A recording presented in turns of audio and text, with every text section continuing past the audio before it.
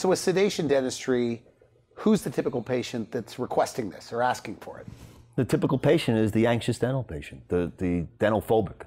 So, you know, they haven't come to the dentist and they know they need dental work, but they're so nervous and they're so upset about a bad dental experience. Do you get a lot of those? A lot, a lot, a lot. So, I mean, sedation dentistry is perfect for them.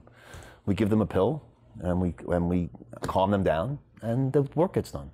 That So right? that's, some patients absolutely need sedation. And you also do IV sedation. We do That's IV off- sedation, okay. and we do. We have an anesthesiologist, so we have we have for any particular circumstance that you need. Okay, good.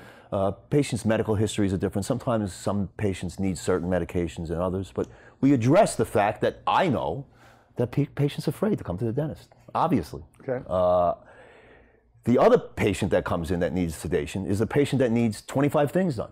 They don't want to come to the office for the next six months every day. They, they got work, they got kids, whatever's going on. So we, we give them sedation and we do all the dental work in a couple you do of like hours. six months worth of Yeah, dentistry we in do one all right, all, all right there. It's done, finished.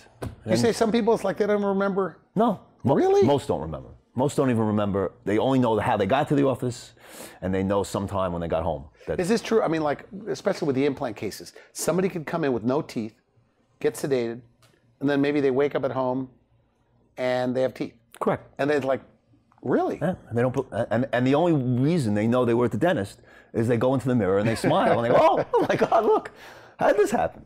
No.